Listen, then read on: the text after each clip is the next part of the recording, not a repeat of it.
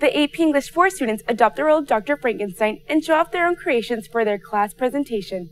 Ashley Mandujano reports. On Tuesday, February 3rd, Ms. Monica Garza's AP English 4 class presented their Frankenstein Modern Monsters projects in the Roma High School library. The presentation showcased the students' prototypes based on the Frankenstein creature and explained how they compared to actual monsters in society. Ms. Monica Garza tells us more.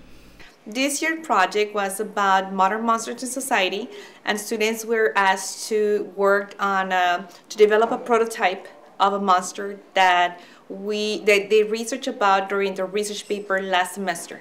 They also used Frankenstein as a model and they were supposed to present this project to the community or to other students and to some judges and argue their point why the monster is a monster in society.